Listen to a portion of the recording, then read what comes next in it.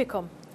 خلال المباحثات الرسمية التي عقدها سموه مع رئيس وزراء مملكة تايلاند دعا صاحب السمو الملكي الأمير خليفة بن سلمان آل خليفة رئيس الوزراء المقر قمة حوار التعاون الآسيوي إلى الوقوف بشكل حازم ضد القوانين التي تنال من الحصانة السيادية للدول وتشكل مصدر قلق كبير في المجتمع الدولي لما لها من تبعات خطيرة تؤثر سلبا على الجهود والتعاون الدولية وتخل بقواعد العلاقات العامة بين الدول فبعض هذه القوانين شرعت خطأ وجاءت في وقت خاطئ وأكد سمومه ورئيس وزراء تايلاند رفض أي إملاءات تتعلق بالشأن الداخلي للدول وحثا على ضرورة الحفاظ على تجانس وتناغم المجتمع الواحد والنأي به عن أي تعصب ديني أو مذهبي يؤثر على لحمته الوطنية.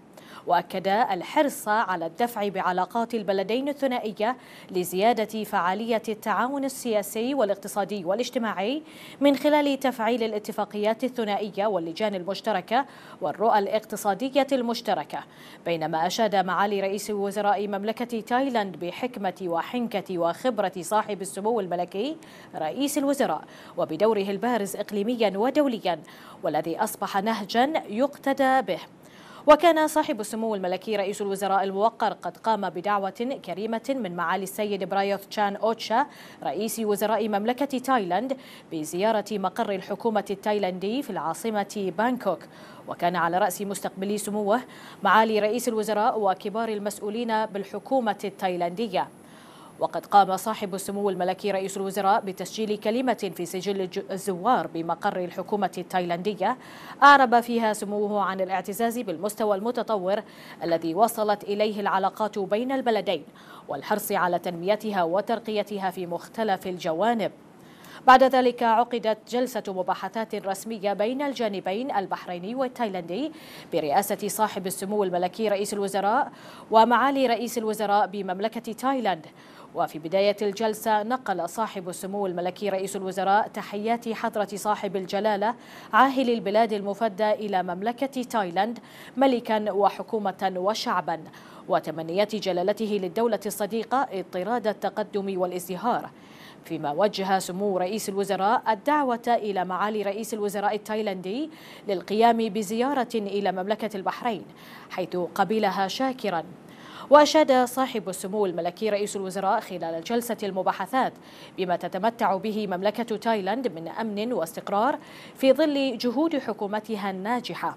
كما أعرب الجانبان عن ارتياحهما لتطور العلاقات البحرينية التايلاندية وتنامي مسار التعاون الثنائي بينهما خاصة في المجالات الاقتصادية والاستثمارية.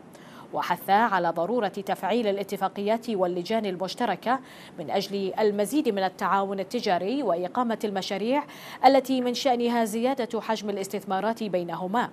فيما أعربت تايلاند عن تطلعها لتكون البحرين مركزا لتوزيع منتجاتها في دول مجلس التعاون لما في ذلك من أثر في الدفع بالتعاون الخليجي الآسيوي عامة والخليجي التايلاندي بشكل خاص. كما استعرض الجانبان التعاون السياحي بينهما وخاصة السياحة العلاجية في ضوء زيادة عدد السياح البحرينيين إلى مملكة تايلاند كمقصد علاجي حيث أعرب سموه عن التقدير لما يحظى به سياح المملكة الذين يقصدون العلاج في تايلاند من معاملة طيبة وحسن رعاية. إلى ذلك تطرق الجانبان إلى التعاون الثقافي والتعليمي بين مملكة البحرين ومملكة تايلاند حيث أعرب معالي رئيس وزراء مملكة تايلاند عن تقديره البالغ لسمو رئيس الوزراء لتقديم المنح الدراسية للطلبة التايلانديين المسلمين. وقد أكد الجانبان على أهمية هذا التعاون لدوره في تعزيز الرصيد المعرفي والثقافي. بينما اتفق الجانبان أيضا على زيادة التعاون الثنائي في مجال قطاع النقل والمواصلات نظرا لانعكاساته الإيجابية على زيادة حجم السياحة بينهما.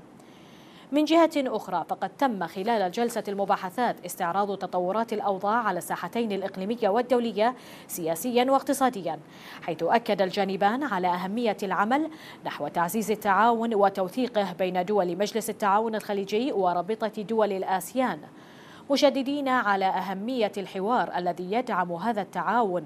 ومنوهين بأهمية قمة حوار التعاون الآسيوي لما يشكله من فرصة طيبة للدفع, للدفع بوتيرة مثل هذا التعاون المنشود والارتقاء به. وقد تطابقت وجهتي نظر الجانبين حول مستجدات الأوضاع الدولية وفي مقدمتها تعزيز التعاون لمكافحة الإرهاب بجميع أشكاله ضمن جهود المجتمع الدولي. واتفقا على استمرار التعاون بين البلدين الصديقين وزيادة التنسيق بينهما في المحافل العالمية وأمام المنظمات الدولية. فيما كانت وجهتا نظر الجانبين متطابقة في رفض أي قوانين وتشريعات من شأنها المساس بسيادة الدول والتأثير على حصانتها السيادية.